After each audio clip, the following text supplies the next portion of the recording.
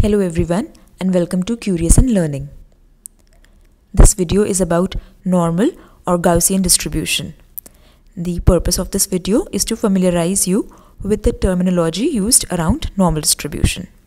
We'll learn about examples, parameters like mean and variance, 68, 95, 99 rule, properties of normal distribution, and finally standard normal curve and z-scores.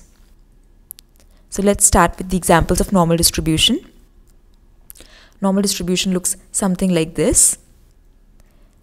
So why the name normal distribution?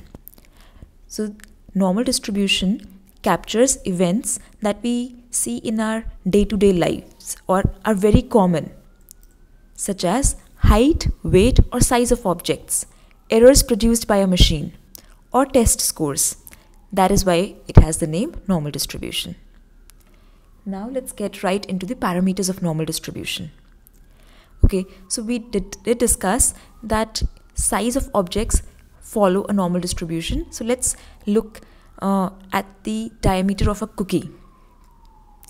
What happens is I go to a factory and it manufactures cookies and I take three samples.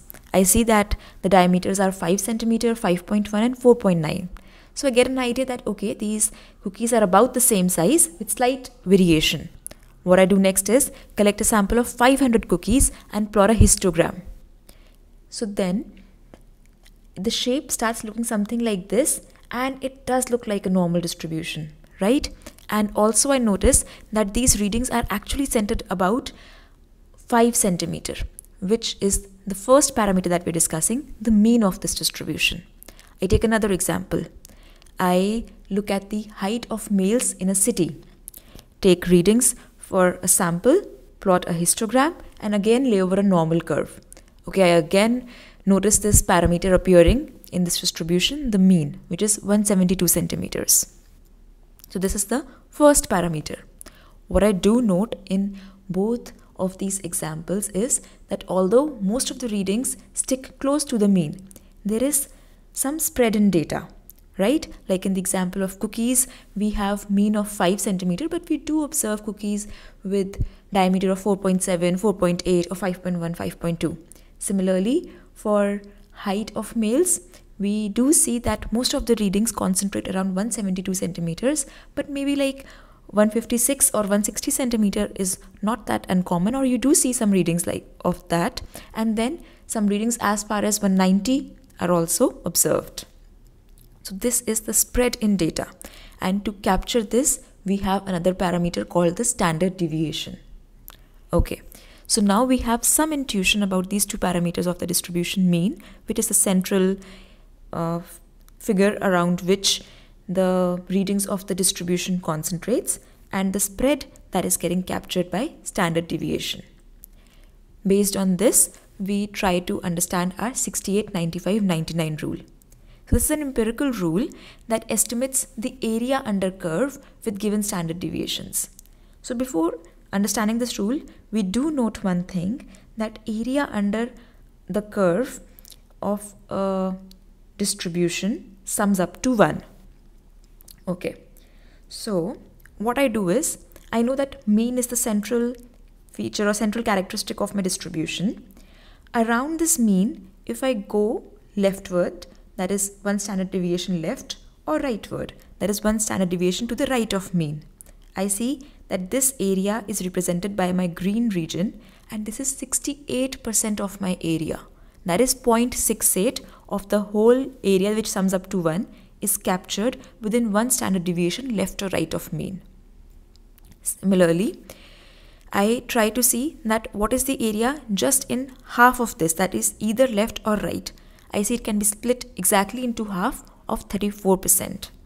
Now when I do the same thing for two standard deviations which is red plus green area that is getting captured in two standard deviations that is 95% and when I split it into two I find it to be 47.5%. Okay, I do the same thing for three standard deviations. The area captured within purple, red and green regions. So within three standard deviations left or right of mean, 99.7% of the area gets covered. So in short, this rule can be put as follows. Within one standard deviation, 68% of the area gets covered. Within two standard deviations, 95% of the area gets covered. And within three standard deviations, 99.7.7% of the area gets covered and hence 68, 95, 99 rule. Okay, now that we have understood so much about the parameters and and have an understanding of with increasing standard deviation how the area under the curve varies, let us look at properties of normal distribution. So as you've already seen, this distribution looks like a bell curve. Second thing is, this distribution is symmetric about its mean, and we have noticed this. The third thing is that the shape of normal density curve remains same with change in mean. So what does this mean? I have this curve which has a mean of 0. What if I take like you know take this curve and take it to the left or right of 0 on the number line. What happens is it looks exactly the same. That is it is translation invariant. So everything remains the same. The green curve is the new curve with mean shifted to 7 and standard deviation 1. Everything looks the same except for its location on the number line. Now that was the first parameter that we were trying to vary. Let's try to play with the standard deviation of the curve. What happens if I change standard deviation, increase or decrease it? Decrease it. First case is that of increasing it. So let's say I have a curve with mean at 0 and standard deviation at 1. What if I try to double the standard deviation? In that case, I will double the spread of data.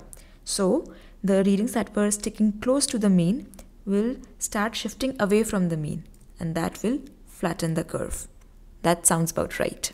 Okay, what happens if I try to decrease the standard deviation or that means decrease the spread in data. So the readings that were away from the mean come closer to the mean, which means for a curve with mean at 0 and standard deviation at 1 gets more concentrated towards the mean. Alright, so these properties I hope seem intuitive to you now. Now based on your understanding, let's work out some application. Say you are a consultant and are hired by a company that manufactures cookies. The requirement is to design a wrapper for the cookies so that at least 99% of them can be packed. So you do your homework as a consultant and find out that you know after collecting a sample of 500 to 1000 cookies, the mean of these cookies is 5 centimeter and standard deviation is about 0.05 centi 0.05 centimeters. All right. Now we have studied fortunately the 68 95 99 rule. You are supposed to capture 99% of the cookies into a wrapper and we know within what variation of standard deviations 99% of the data gets captured. That is, if you move three standard deviations left or right, that will capture 99% of the data. But since smaller cookies will always fit into a bigger wrapper, what we can do is do mu plus 3 sigma and report this figure for 99% of the cookies to fit into the wrapper. Alright. So pleased with your last report, you were asked for another design suggestion. You need to report an estimate for the sieve size such that the food grains larger than 80% of the mean size are retained and the rest below threshold pass out. So what the problem is, if I make it more lucid, you take some grains and you want 20% of the biggest of them to be retained and the rest 80% are uh, made to pass out. So in this case, uh, we can do something similar to our cookies example. So the first step we take, we find out that the mean is 4 millimeters, standard deviation is 0.2 millimeters. Okay. But the next step, we really get stuck because we do not know that for how many standard deviations uh, 80% of the area in the distribution is captured. Okay, so this is where we will learn about standard normal curves and z-scores and it will help us to work out this application. So let's get into it. Standard normal curve. It is actually very simple. We have studied so much about normal curves. What if I give you a normal curve with mean at 0 and standard deviation at 1? This is precisely what our standard normal curve is. So why study it especially? This is because a lot of calculations become easier for standard normal curve than with than for a normal curve with any mean or any standard deviation. So we will see later how this makes our lives easier. But for now, this is what a standard normal curve is. The second most interesting thing is the z-scores. So remember where we got stuck? We do not know that at what point, you know, from the mean or where in this normal distribution do we have 80% of our area covered? So do you look at this figure? This you know dark green area is let's say the 80% that the size of the grains we want to you know sieve out. And this region this place this mark is what we need to find out. How far away from the mean do I need to go so that 80% of the area gets covered. And that is exactly what z-score will do. So this is why we need to learn about the z-scores now let's look at it more mathematically. It represents how many standard deviations sigma below or above the mean a data point x is. You have already seen what was the importance. Now you're just seeing it mathematically. So z is how far is it away from the mean? That is x minus mu. And then you divide it by sigma to scale it with the standard deviation. So again in words you can say it x is z times sigma away from mu. And why do we calculate z scores? Because instead of you know studying the distribution of these raw data points x we can study the distribution of z-scores and z-scores is nothing but a standard normal curve. And like I told you, standard normal curve makes our lives easier for a lot of calculations. We want to compute z-scores. So let us, you know, try to visualize this z-score. We have studied the importance of z-score. We know what z-score is, but let us just try to build a little more intuition around it. So let's say I gave you a distribution with mean 5 and standard deviation 0.8. Now you see there are so many points x all over this distribution. I just randomly pick a point of let's say x equals 6.5. So I want to shift this entire distribution to mean of 0. So the mu itself when I shift it by mu it becomes 0. That means mu minus mu 0. All the other points shift by x minus mu. So the point of 6.5 when I shifted by 5 became 1.5 or let's say another point x equals 3 when I shifted by 5 it becomes 3 minus 5 equals minus 2 as simple as that.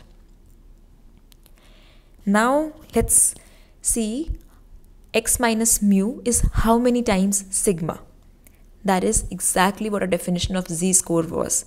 When we shifted this curve, which was let's say denoted by z dash, when we scale it by sigma again, we get the z score and the distribution of z scores. So you see that originally we had this curve which was which looked something like this and now we try to increase the standard deviation because we are scaling it by a smaller de standard deviation so we are effectively increasing the standard deviation from 0.8 to 1 so the curve flattens out and this is what our final distribution looks like. Now back to the z-scores. We understood how to compute z-scores. We understood why we need z-scores but now let us see how will we get area from these z-scores. So what happens is we have a table computed for a standard normal curve already in which if you see the left column where z is written the leftmost column that gives you the first the the integer and the first decimal position. So let's say 0 0.2, 0 0.3 or 1.0 or 1.5 that you take from the left column, leftmost column. Then you see the uppermost row that gives you your second decimal for the z-score. So let's say if I had to compute, if I had to look at the z-score 0.55, I will take 0.5 from my row of 0.5 and the second decimal of 5 from my column of 0.05. So if you add 0.5 plus 0.05, it becomes 0.55. Okay, so for this z-score, we get a value. Now what does this value represent? Now this value is exactly the area that gets covered up to the z-score. And remember, this is something what we actually wanted. This is what we were getting stuck at.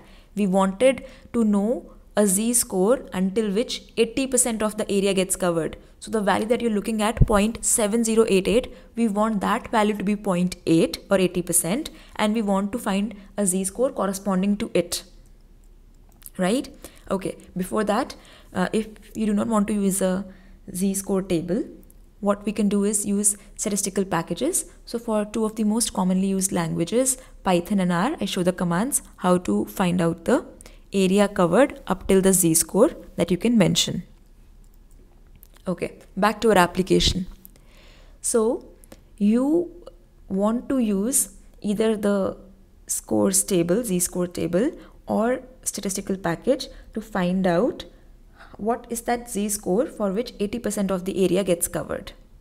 So in the table if we are using, we find out that the figure closest, the area that we can see closest to 80% is this 0.8023. Towards the right, I have 0.8051. Toward going down, I have 0.8289. So then this looks like the closest I can get to the 80% mark. Or for even more precise results, you can use the statistical packages. But for now, let's use the z-score table. So for 0.8023 area, I get the z-score 0.8 plus 0.05 that is 0.85 so now I have what I needed. I have my z-score 0.85 and I know that how the z-score is computed it is x minus mu by sigma and so if I want to find out the exact reading x that is z-score into sigma by plus mu substituting these values I get that the size of grain that should be sieved is less than equal to 4.17 millimeters and I report this figure. Great. So this is all for this video. Please do let me know in the comments section what you thought about this video and there is if there is anything else you would like to have discussed. Thank you and see you again soon.